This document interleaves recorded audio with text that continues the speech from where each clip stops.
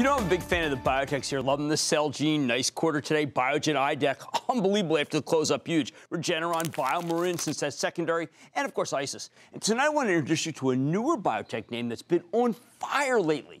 I'm talking about Radius Health, which came public last June at $8 per share. And while it didn't do much on its first day of trading, sometimes it's the best kind, it's since rallied more than 480%, up to 47 as of today. Hey, how'd you do with that CD during this run? Radius is a development stage biotech focused on finding drugs for osteoporosis and other endocrine mediated disorders. The company's lead product is an osteoporosis treatment that's currently in phase three trials. That often means it's close to being on the market. The drug has shown evidence of faster improvement in bone mineral density, which should translate into a much more rapid reduction in fracture risk than currently available in therapies. Radius is expected to file for approval in both the US and the EU later this year. Everything goes well. I think this drug could only do, I'm not kidding, a billion dollars in peak sales sales. Plus, Radius has some intriguing early stage assets, including a targeted breast cancer drug. that's currently in phase one. It's early, but this drug uses the same pathways as a formulation that was being developed by Seragon, Seragon, which was acquired by Roche last year for 1.7 billion. Can Radius keep roaring? Let's take a closer look with this new company with Bob Ward, the president and CEO of Radius Health. Find out more about his company and where it's headed. Mr. Ward, welcome to Mad Money. Have a seat. Good to see you. Good to see you, Jim. Good to see you. Okay, I got to tell you, Bob. Um, it's very rare that I see a company does a very big secondary, as you did January 22nd. A lot of people say, hey, when's he going to do an offering? That, that offering's already done.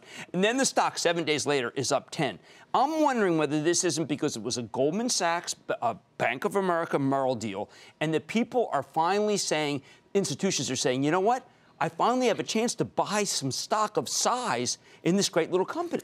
You're right, Jim. It's not only an increase in volume or the float, but it's data driven. You know, as people came to learn more about the phase three data, right. you'd mentioned before improvements on bone mineral density, but we showed an 86% reduction on vertebral fractures, which is the largest reduction reported in a major osteoporosis. Yeah, I saw. I thought Remain investors at the active trial already demonstrated a high. I couldn't. And this is for vert, vertebral. I mean, that's terrible. I mean, right? It's just a people. It can be fatal. Well, here in the U.S., you know, osteoporosis is underdiagnosed and undertreated. Right. So drugs that help build bone strength, the anabolic category. Right. Lilly's Forteo is currently on the market mm-hmm. and is the market leader. Uh, abaloparatide, our investigational drug, as you mentioned, will file this year, right. and with positive regulatory approval, we'd enter next year as the second uh, anabolic agent for now they, they wouldn't give that they wouldn't put a second on the market unless it i've always felt that it can't be me too it's got to be better well jim in our phase three trial we had 800 patients on Forteo, 800 patients on abaloparatide, and 800 on placebo. Because as you know, the regulators look at the clinical benefit, but right. the payers ask the question for a healthcare dollar, what's the value? Right, they want an outcome, and they must have liked, well, obviously yours is superior. We wouldn't be talking this. Now, there's a phrase that is used in the research, and I wish there was, candidly. I want to tell our people there's presentations, but there's not a lot of research not followed yet by a lot of companies. I sense that's going to change.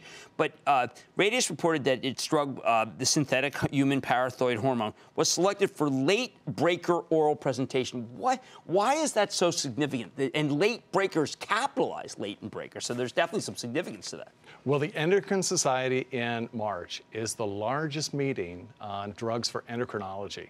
So our active trial phase three results were accepted for an oral presentation. So Paul Miller, uh, from the University of Colorado will be presenting the top line results and also sharing some of his perspectives on which parts of it have the greatest clinical relevance. Okay, now is it right to talk about RAD 1901?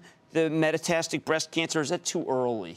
Well, it's early, Jim, but very exciting. Tell me why. A... How do we know something in phase one? I mean, isn't that just in mice? I mean, where is that just modeling? No, phase one right now is for patients with advanced metastatic breast cancer. But this for investigational people agent. who may not live otherwise, right?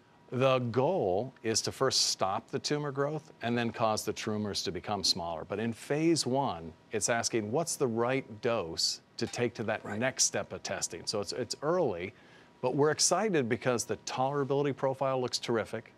And we did some studies last year in healthy volunteers. We looked at that estrogen target, the right. receptor, and showed after six days of dosing, we completely uh, suppressed the signals. That's very encouraging that the doses we're looking at have a good likelihood of being clinically active. Okay, when I have a young company like yours, I like to tell people to go to the website, but I also like to say, okay, let's say you're listening and you want to be in the phase three or the phase one. What can you go to the website? Will it have the answer? Because I don't want to create false hope, but obviously there's people out there who could use these drugs.